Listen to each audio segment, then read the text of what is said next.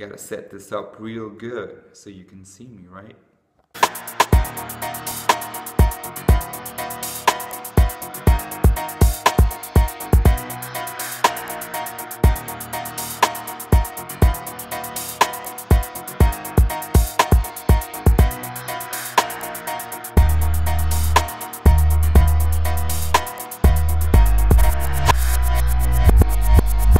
Alright, let me tell you the biggest secret that I've read in almost all self help books that I've read. And the biggest secret for overcoming procrastination and uh, basically doing the things that you have to do. And it's this emotional intelligence. The ability to not be guided by your emotions. Now, I don't mean not taking advice of your emotions. By all means, your emotions tell you something, but people are overwhelmed by their emotions. People cannot take the emotional pressure. They say, I feel that I cannot do it. I, I, I feel like I can't do it today. Or I don't, I don't feel like it. Well, here's a solution. It's not the solution. Here's a solution. A tool that I happened to have to apply when I was experiencing anxiety attacks. And it's this the art of reframing. What do I mean by that? Reframing what you are telling yourself. At first, it's hard. You first need to look into your mind and see what things you're telling yourself. That in and of itself is already a task.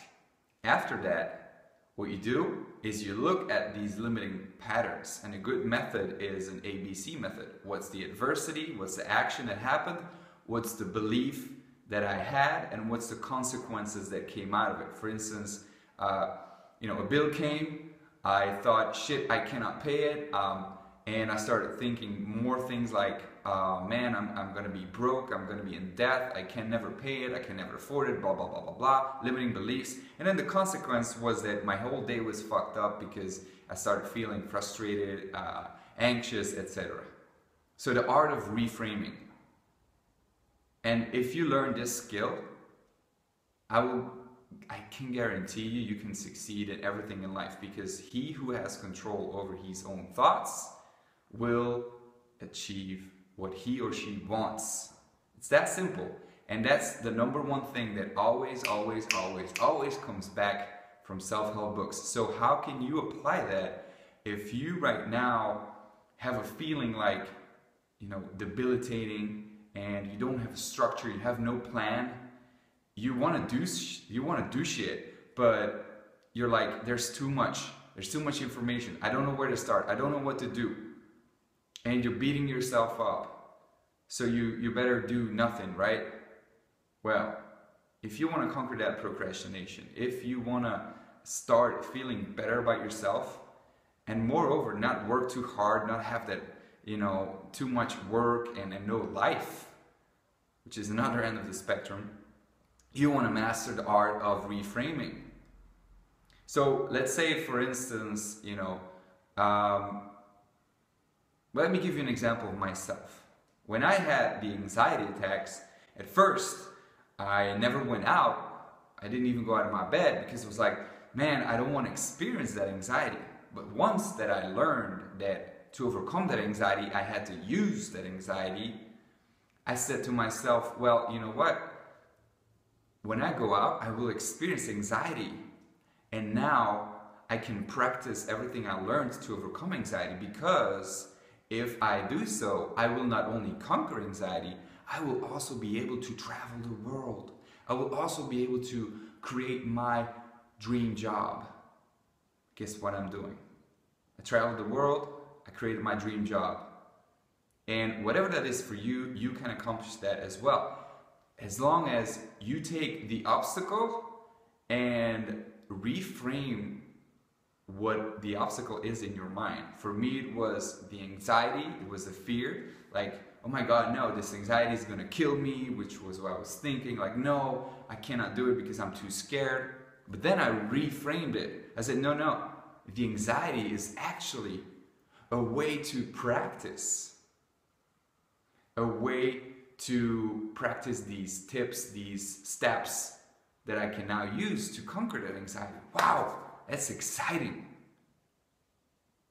Let me give you another example. For instance, you know, you live in the same house with a good friend and you both get up at this, you know, the same time, you both meditate and let, let me paint it, this picture, right? Doesn't matter if it's not you, but let, just come along with me. You meditate both together. You, you do it in a, in a different room, but for some reason, you know, your friend is always very noisy, right? Now, one thing you can do is obviously talk to him and say, hey, uh, could you lower it down? But let's say, you know, there's no reason. He, he has to do his own meditation or whatever. What you can do then is accept it and just reframe it. Like every time you hear it, and you're probably doing your Tai Chi or, or like you want peace, but you still hear that person. What you can do differently than, you know, if there's just no other reason than to accept it, is to reframe it in your mind and say, well, you know what, actually, I love that he or she's doing that meditation, that own meditation. We're now both doing this. This is actually a great moment because now we're connected. We're on the same vibe here. So this is a great morning. This is an awesome morning. Whatever it is that you can say or find to state yourself positively, right? And this might seem all airy fairy, woo woo, whatever. Like, but I will I will tell you this: if you don't learn to master your emotions, if your emotions master you, you will never accomplish fully 100% your, your true potential. You will keep procrastinating. You will keep going in this downward spiral. And now what? So it's up to you, man. It's up to you. It's up to you to decide what it is that you want to do. Hey, hey, this is awesome. You know what? In life, we have choices. And I love choices.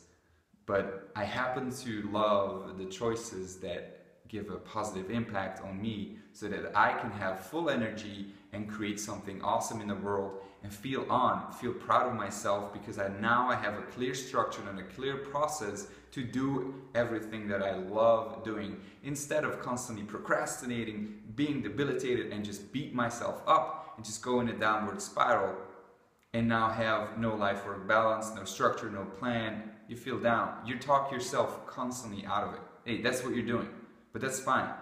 So it's up to you, right? So if that's you and this video really impacted you, I really, you know, would appreciate you sharing this video with someone that needs to see this. Share and like, hit up a like. And let me know in the comments, like, what is one thing that you tell yourself or what are you going to do right now differently because of watching this video? I really appreciate you. Thank you so much. I see you soon. Peace.